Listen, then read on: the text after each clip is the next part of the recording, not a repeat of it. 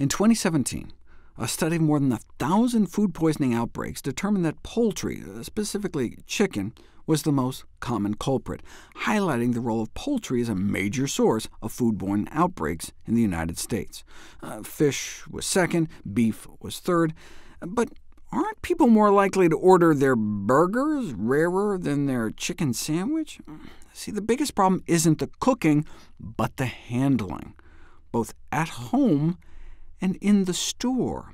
A shop-along study was conducted to determine actual shopping behavior of consumers who purchased raw poultry products. What did they find? Neither hand sanitizer or wipes were observed in 71% of grocery store meat sections of the stores visited, and even when they were there, only one participant out of the 96 they followed used it. Therefore, it's important to educate shoppers on the importance of using hand sanitizer in the meat section after touching poultry packages, because food poisoning bacteria can get on the outside of the package. Uh, plastic bags were available in most meat sections, but only a quarter of the shoppers used the bags for their raw poultry purchases. Uh, the shoppers just usually placed the poultry directly in the main basket of the grocery cart, where it could come in contact with fresh produce that may be eaten raw in a salad or something. And then where does their hand go? Uh, they didn't use any kind of sanitizer, and they then just grab the handle of the cart. Because they're not practicing good hand hygiene when handling poultry in the grocery store meat section, they could contaminate a variety of items as a result of contact with their hands. Uh, touching the cart after directly handling the poultry packages could potentially mean that the cart becomes a risk factor for Salmonella or, or Campylobacter for the next person. Uh, the bacteria potentially left on the cart could affect other shoppers, not just the person picking up the poultry.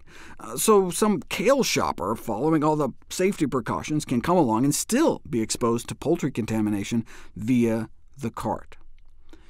In addition to touching the cart, poultry shoppers may also touch a personal item after touching a raw poultry package, a personal item like their children. After touching poultry packages, 31% of shoppers touched a personal item like their purse, their child. Most left the store with poultry separated in its own bag. However, most consumers then took it out of this protective layer when they got home, and one in three placed the package directly on the counter before it went into the fridge and most were just put straight in, where it could potentially come in contact with other items. Fewer than one in five consumers correctly stored raw poultry on the bottom shelf in a sealed container or plastic bag. Always in the bottom, since if the raw juices leak, they could contaminate other foods. The next mistake most people make is then washing or rinsing raw poultry before cooking it. Up to 90% of people say they wash their chicken before cooking it, because that's what they're used to, and they want to rinse the slime off. The problem is that the slime can be splashed throughout like a two-foot halo of contamination around the sink. Uh, a lot of folks heard you weren't supposed to do that, but they continue to do it anyway. Fewer than about 1 in 10 thaw frozen poultry the way they should in a sealed container plastic bag submerged in cold water with the water changed every 30 minutes. Mm, is it better to put raw poultry on a wood cutting board or a plastic cutting board? Neither is safe, as they both get rapidly contaminated. Failure to then use a food thermometer is another potentially unsafe practice, given that 70% of chicken pieces that were judged by consumers as done had not reached safe internal cooking temperatures. In focus groups, Many participants thought food thermometers were unnecessary to determine whether meat and poultry was cooked thoroughly, because look, they've been cooking for years without once getting food poisoning.